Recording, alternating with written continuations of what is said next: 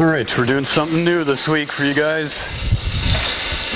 In case you were wondering why my YouTube channel name is called NHRA Stock,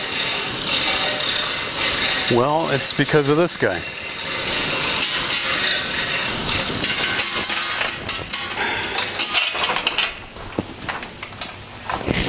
And let's see what we've got to play with um, underneath here.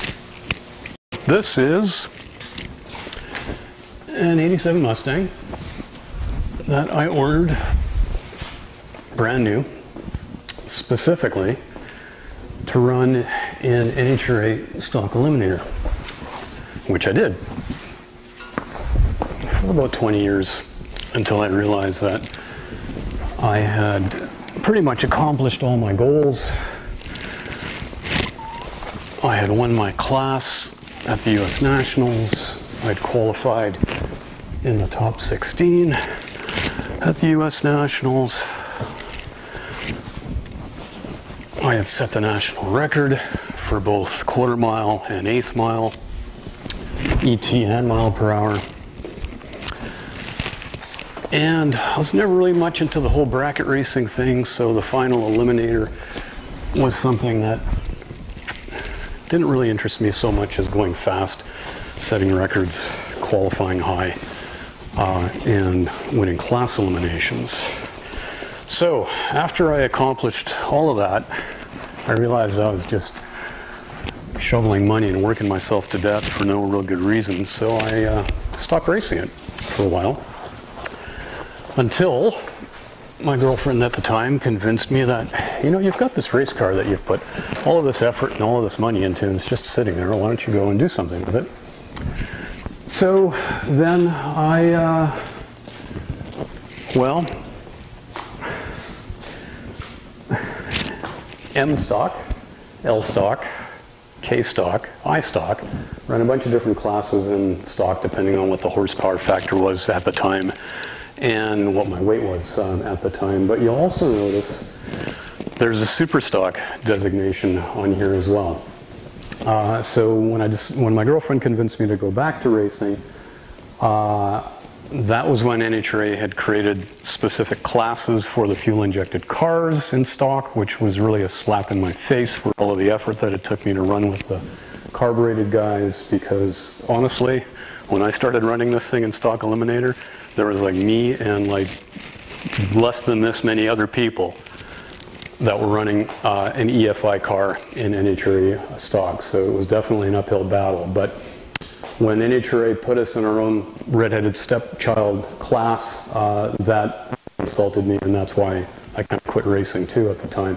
So when I went back, I actually ran the thing in super stock uh, for a year because I could run with the regular classes, with the regular guys in super stock. And I actually got really, really lucky at the Heartland Nationals one year and won a class trophy in Superstock K because the other guy that was way faster than me uh, unfortunately broke his car in the final round. Like he was way out in front of me, and then all of a sudden I'm driving by him going, hey, this isn't supposed to happen. So after I won that race, I actually went over to him and I said, you know, you really should have the trophy. And, and he said, nope, nope, shit happens. Um, you won it fair and square, so I've got a super stock uh, class win uh, as well. So let's get this thing out of the air, off the ground, get a battery in the thing, uh, and then fire it up, and then I'll tell you the rest of the story about what we're going to do with this thing now. Okay, so uh, we're going to go time lapse. So cue the angry music, and let's get this thing uh, on the ground and get a battery into it.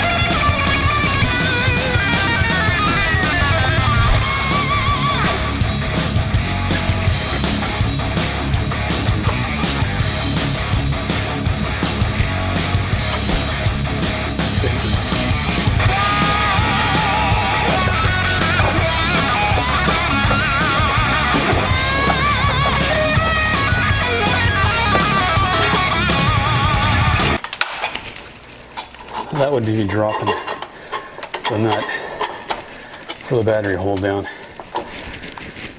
And uh, guess where it is? Right into the middle. All right.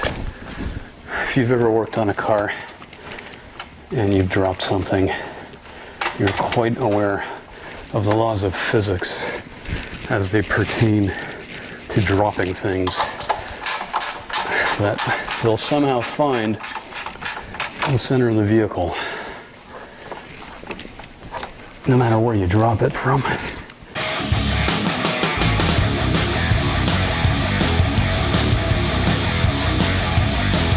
I'm going to uh, go to the external stereo microphone on this camera here so you can hear this thing in glorious stereo sound instead of just uh, me in mono. So that's next. So if this works, and this is not rehearsed, this is, we're going to see if it actually starts after the winter.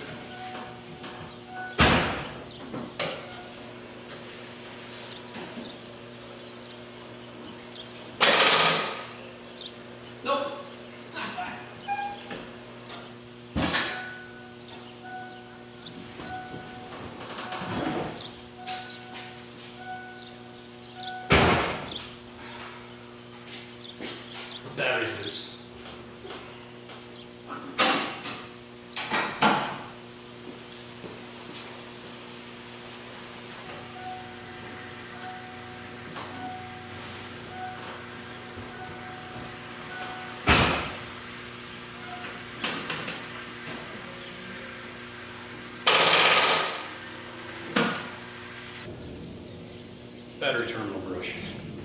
Wrenches. See if this helps.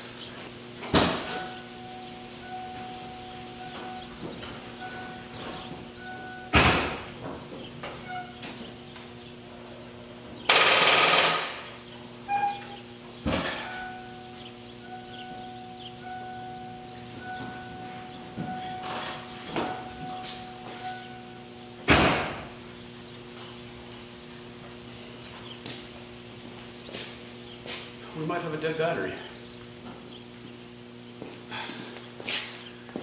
All right, we checked. Engine's not seized. Turns over fine. So, time for a booster pack.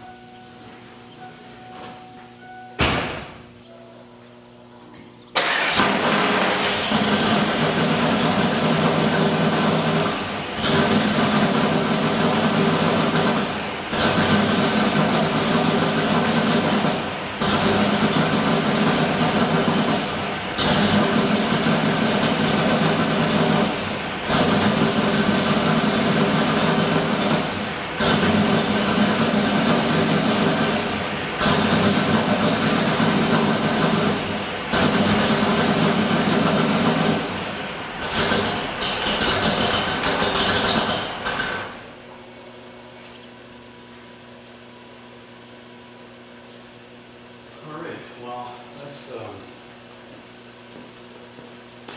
that's interesting.